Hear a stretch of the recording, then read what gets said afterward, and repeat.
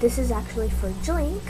I don't know how to pronounce the you know, old school zero. I'm just going to call you that because I don't know how to pronounce your name.